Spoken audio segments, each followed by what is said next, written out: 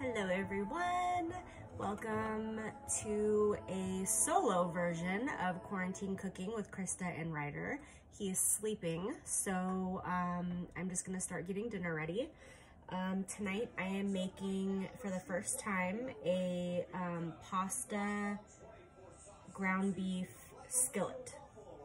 Um, so this recipe uh, calls for one pound of ground beef, one cup of onion diced, uh, one tablespoon of minced garlic, one teaspoon of salt, half a teaspoon pepper, two tablespoons Worcestershire sauce, two tablespoons ketchup, four cups of beef broth, 16 ounces of fusilli pasta, or really whatever pasta you have on hand, three cups of cheddar cheese, and half a cup of milk.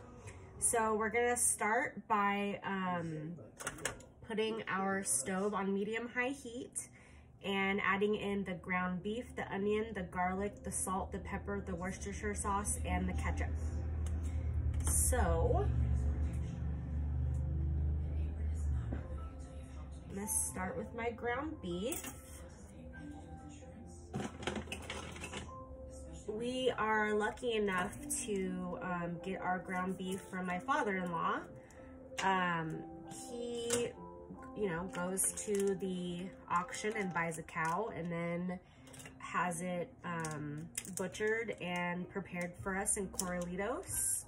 And we get this amazing low fat uh, meat. We get steaks, ground beef, sausages, you name it. And it's pretty amazing.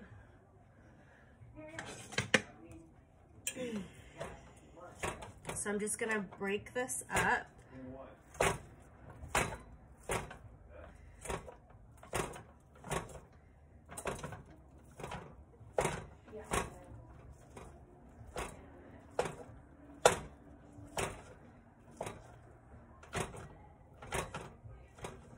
Each one of these pouches is about one pound. So it might be a little bit under, but that's okay. So the ground beef is in there, and I'm gonna add the onion.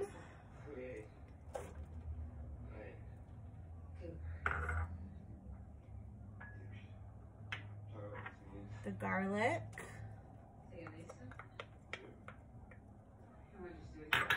The salt and pepper. The Worcestershire sauce. Ketchup.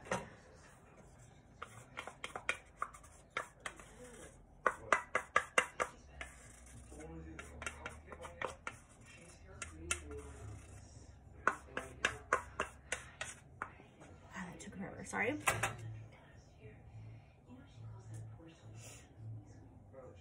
So we're gonna cook this for six to seven minutes or until the ground beef is browned.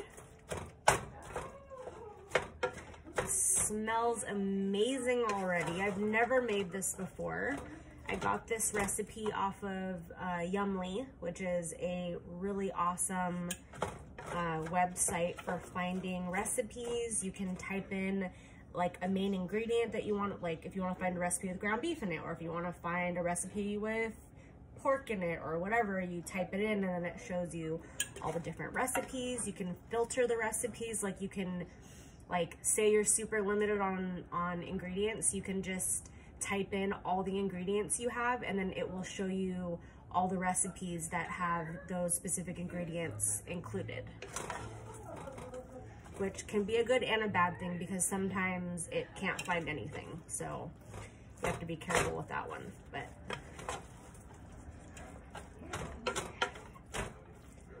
Okay so this is all incorporated. I'm gonna turn it up a little bit. Um, our stove is like a really old electric stove. I wish that I had a gas stove, but um, this house is like 50 years old, so unfortunately we don't, and we haven't upgraded. but that's okay. Um, I'm just going to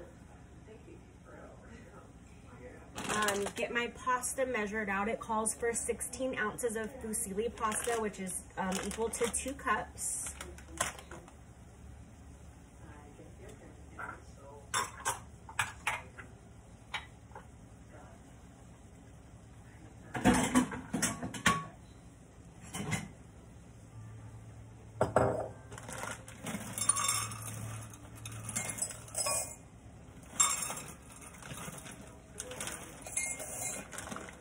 Extra never hurt anyone.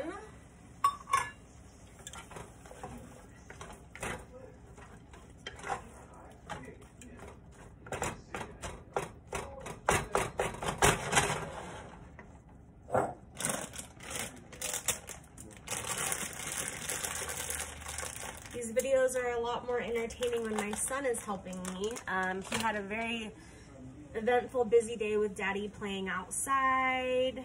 And we did a cooking video earlier. We made some wonderful um, chocolate chip marshmallow cookies and they were amazing. I'm probably gonna have to make another batch because they were that good. Um, so he's tired out. So he passed out about 45 minutes ago and I'm just gonna let him sleep until dinner's ready. I mean, it's not like we have school or work tomorrow, so if he goes to bed late, it's not that big of a deal.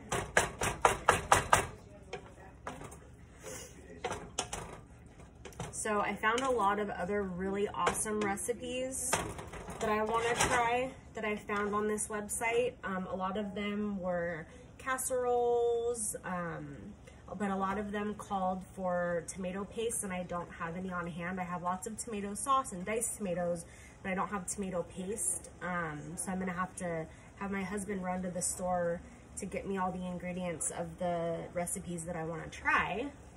And just excuse me one second, I'm going to put my hair up because I keep playing with it.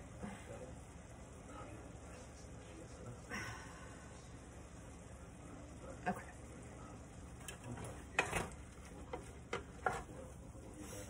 So this recipe is super, well, it seems to be super easy. I've never made it before, but um, it's got minimal steps and it's all in one pot, so you don't have to like pre-cook the pasta or anything like that. It's a one pot dish, which I think is great. Super easy, not a lot of cleanup.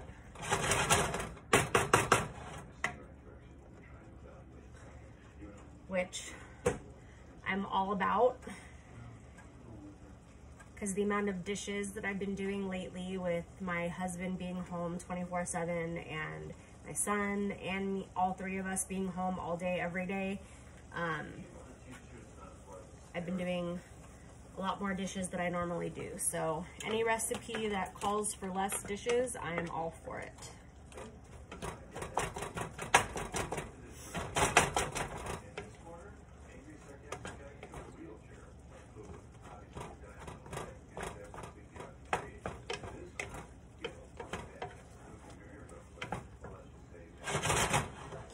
So this ground beef is almost cooked. So the next step um, is going to be to pour in four cups of beef broth, which is one whole container, one of the um, 32 ounce containers. Um, we're gonna add that, one cup of water, um, and then bring it to a simmer, and then and then we're gonna add the pasta. So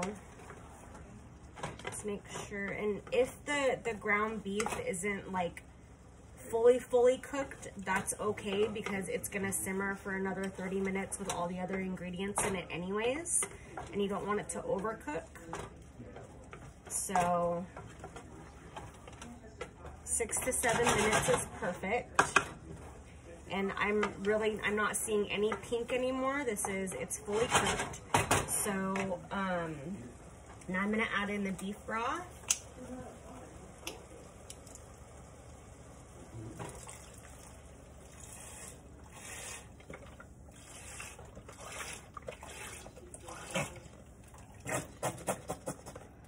Beef broth, give it a little stir.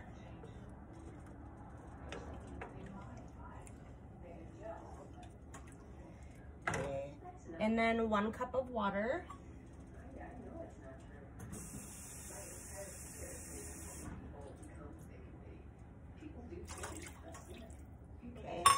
And then um, we're gonna add the two cups of pasta.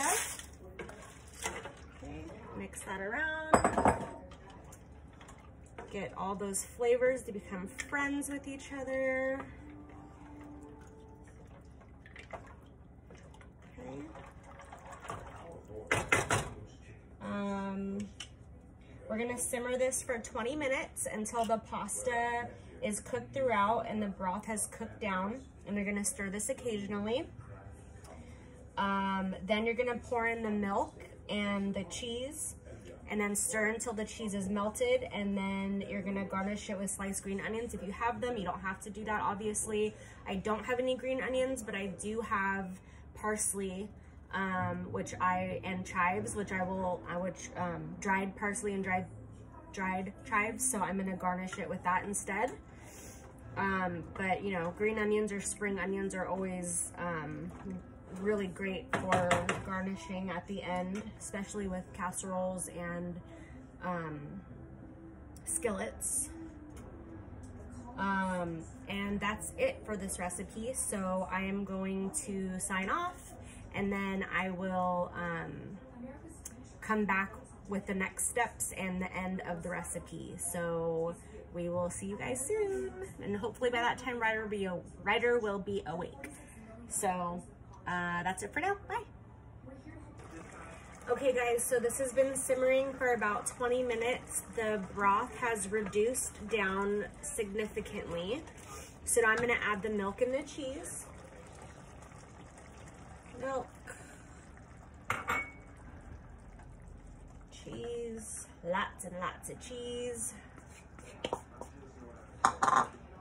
And I'm going to stir this until the cheese melts. And the milk and the cheese are obviously gonna thicken up, thicken it up even more.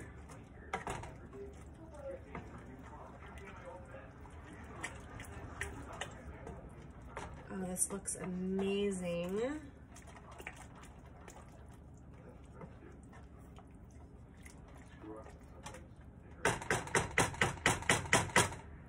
I'm gonna let that come back up to a simmer.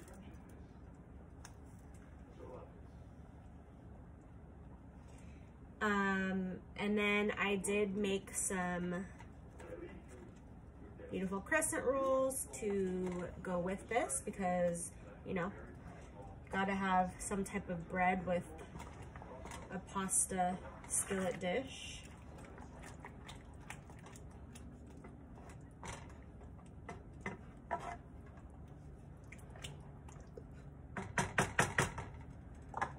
And that is it. I'm gonna let this um,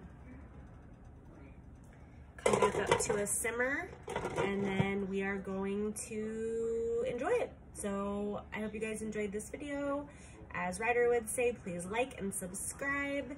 It's normally way more fun when Ryder's helping me, but he's super tired and uh, he is still sleeping. So um, he will probably end up sleeping through dinner, which is fine.